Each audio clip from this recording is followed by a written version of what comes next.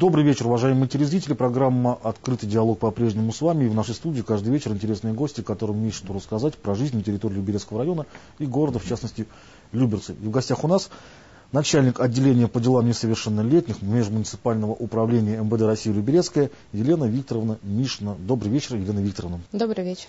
Сегодня будем мы говорить про подростков, про наших э, золотую молодежь э, люберецкую, которая у нас фигурирует в полицейских сводках. А в советские времена, если вспомнить наше детство, если мы разбивали, допустим, стекло где-нибудь в школе, да, нас пугали э, детской комнаты милиции. Это было для нас э, страшнее самого страшного приговора. Современные люберчане-подростки боятся детской комнаты милиции или полиции. Есть такая или, или сейчас преступления среди подростков э, уже не ограничиваются просто э, разбитием стекла или угоном э, легкого велосипеда. Такое сравнение небольшое. Да, в настоящее время у нас, конечно, называется это не так, не детская комната милиции. Сейчас мы называемся отделением по делам несовершеннолетних. Э, у нас в отделении работает 35 сотрудников, инспекторов, э, которые занимаются ежедневно э, борьбой с детской преступностью. Хотелось бы отметить, что за последние годы у нас отмечается снижение подростковой преступности. В 2012 году подростками было совершено на 20% меньше преступлений по сравнению с аналогичным периодом прошлого года. Э, то есть было совершено 36 преступлений с участием 39 несовершеннолетних. Э, в 2011 году таких преступлений было совершено 45. В них приняло участие 42 подростка. Хотелось бы отметить, что снижение подростковой преступности наблюдается практически на всех э, территориях обслуживания отделов полиции. Единственное, что рост преступности у нас произошел на территории обслуживания Томильского отдела полиции. Можно сказать, что за отчетный период у нас э, значительно снизилось количество совершенных подростками особо тяжких преступлений. Это практически на 87%. Также произошло снижение совершенных подростками тяжких преступлений на 42%. Э, сократилось количество совершенных подростками мошенничеств. То есть в 2012 году ими не было совершено такой категории преступлений, тогда как в 2011 году таких преступлений было три. На 50% снизилось количество совершенных преступлений Э, причинение э, телесных повреждений подростками. Э, неправомерное завладение автотранспортным средством также снизилось на 80%. Хотелось бы отметить, что благодаря проводимой нами работе удалось сократить совершение подростками убийств. В 2012 году таких преступлений совершено не было. В 2011 году мы регистрировали два таких факта. Также на должном уровне у нас идет работа по борьбе с незаконным оборотом наркотических веществ в молодежной среде. И тоже благодаря этой работе мы снизили преступность, связанную с наркоманией, э, практически на 67%. То есть э, с 6 до 2 преступлений. Э, хотелось бы еще отметить, что произошло снижение и иногородней преступности.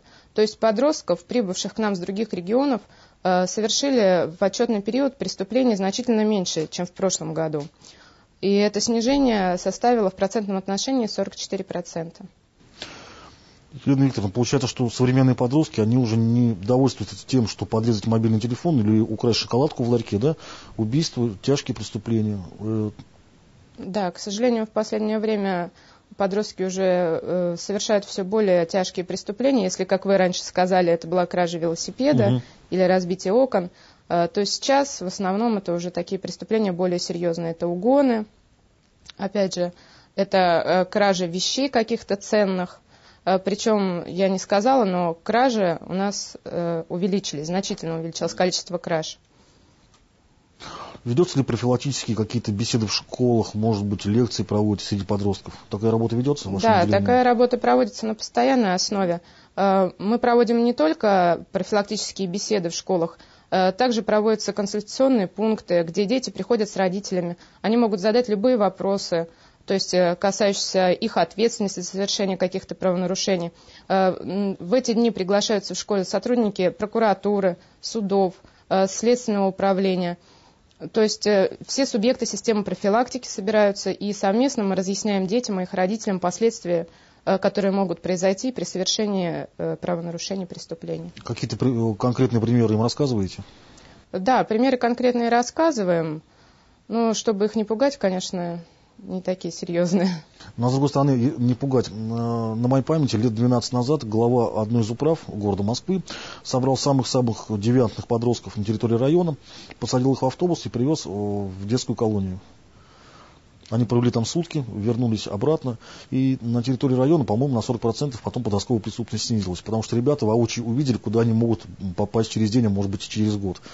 Да, такие меры профилактики мы тоже применяем. И, соответственно, самых трудных подростков мы собираем и вывозим их в колонии для детей, для несовершеннолетних, чтобы они видели, что их может ожидать в будущем.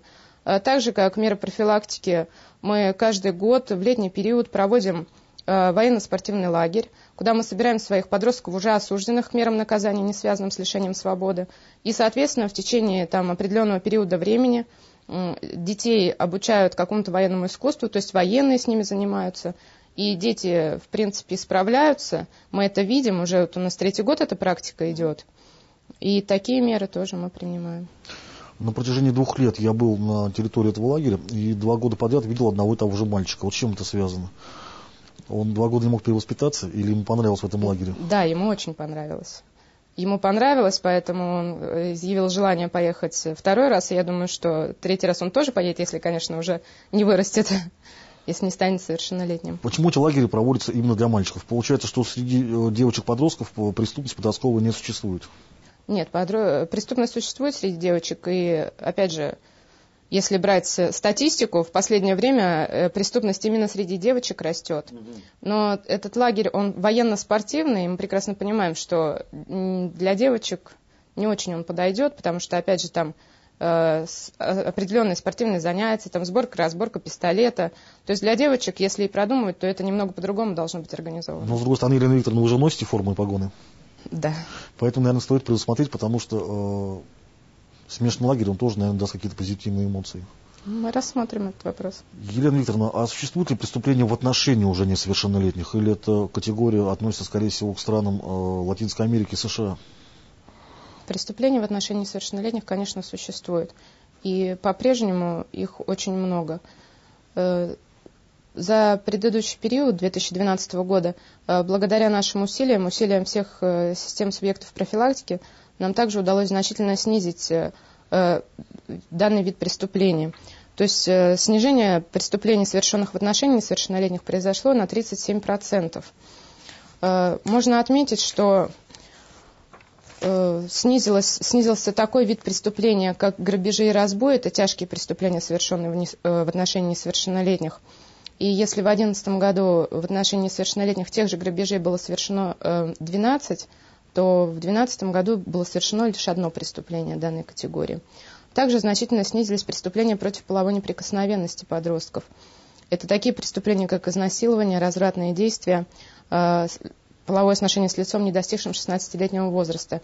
Я, конечно, не могу сказать, что мы полностью искоренили эти преступления. Да, они есть, но их значительно стало меньше. Особое сейчас беспокойство у нас вызывают э, преступление, предусмотренное статьей 110 Уголовного кодекса Российской Федерации. А это доведение это? до самоубийства. Э, раньше у нас на практике таких статей практически не было. Но в этом году, в 2012, у нас уже было возбуждено э, три уголовных дела, предусмотренных статьей 110. То есть трое подростков, мальчиков у нас совершили суицид. И Следственным э, комитетом были возбуждены уголовные дела доведения до самоубийства. Но это в разное время э, произошло? Да, это все произошло в разное время. Просто на, на слуху, когда мальчик с балкона выпал или сбросился, якобы, якобы накурившись курительных смесей. Да, но там возбудили 105 убийство. Угу. А это другие случаи, и там никто не, выбрасывался, не выбрасывался, это в основном э, суицид был через повешение. Все три случая. Елена Викторовна, а есть ли в статистике вашей полицейской э, факты жестокого обращения с люберецкими детьми? Да, такие факты существуют. Э, в 2012 году нам было зарегистрировано 4 данных факта. Как вы про них узнали? Э, в основном об этих фактах мы узнаем или из школы, угу. то есть когда дети приходят в синяках, избитые, школа незамедлительно нам сообщает, или от добрых соседей. Соответственно, что сами ни дети, ни родители никогда не пойдут и не скажут, что да, с нами жестоко обращаются, или мы жестоко обращаемся со своими детьми. Вся основная информация идет из учреждения образования, начиная с детских садов и заканчивая школами. Что грозит или уже пригрозило родителям, которые э, издевались над своими детьми? Э, данные родители привлекаются к уголовной ответственности по статье 156 Уголовного кодекса Российской Федерации. Э, детей мы обычно из таких семей изымаем, и направляются материалы в суд для лишения родительских прав данных родителей. То есть в основном данные родители лишаются прав, и дети далее воспитываются в детских домах. Для родителей это больше условные сроки или настоящие реально уголовные? Нет, это условные сроки. Угу. Получается, что если в школе заметили, что подростка синяк на руке, гематома на лице, то незамедлительно, даже не проверяя факт, нужно звонить на некий телефон доверия. Да, у нас существуют телефоны доверия. Это телефон, который существует при нашем управлении, и телефон, который работает э, при администрации Люберецкого муниципального района, который так и называется «Дети в беде». Э, информация, поступающая на данные телефоны, незамедлительно направляется нам. И мы сразу же выезжаем и оперативно проверяем указанные факты. Может быть, продиктуйте телефон нашим телезрителям? Да, конечно. Э, телефон доверия. Дети в беде. 8 495 503 20 80. Телефон при межмуниципальном управлении МВД России. 8 495 554 84 74. Данные телефоны работают круглосуточно. Елена Викторовна, коли мы сегодня говорим про несовершеннолетних, э, новорожденные относятся к этой категории населения? Да, новорожденные относятся к этой категории. И тоже факты имеются. Э, факты очень жестокие. Э, в том числе это оставление новорожденных детей где-то на улице, то есть в беспомощном состоянии. Это специально? Да, это специально, само собой. Это, это такие факты. Мать рожает ребенка или рожает его на улице, или где-то в каких-то условиях, и выносит его, просто оставляет там в какой-то одежде на морозе замерзать целенаправленно. Елена Викторовна, были громкие случаи в прошлом году, после которых на территории Люберецкого роддома было э, решено открыть некие бэби-боксы. Ну, специальные кабиночки, э, дверь, она отапливается. Если вы решили ребенка подбросить, как в старые времена, не на порог, открываешь кабинку, кладешь, закрывается. Э, после открытия этих бэби-боксов новорожденных перестали находить? К сожалению, нет. После открытия данных окон у нас уже был один факт зарегистрирован, когда мы нашли мертвого новорожденного ребенка Э, на мусорной свалке. То есть ребенок был целенаправленно выброшен, новорожденный. Соответственно, возможно, что мать не знала, что существуют такие окна у нас в Люберецком районе. Возможно, этот ребенок был привезен, конечно, откуда-то с другого района. Сейчас э, ведется проверка по данному факту и устанавливаются лица, которые могли быть причастны к совершению данного преступления. Елена Викторовна, спасибо большое, что в гости к нам пришли. Я думаю, что вы будете у нас здесь э, регулярно приходить опять в нашу студию и рассказывать о том, что детская преступность, подростковая преступность опять снижается на 20% или на 37%. И к концу года вы скажете, что ни одного преступления на территории Люберецкого района зарегистрировано не было. Я очень хочу в это верить. Мы будем стараться, чтобы именно так это и было. Оно так и будет. И, уважаемые телезрители, все у нас будет хорошо.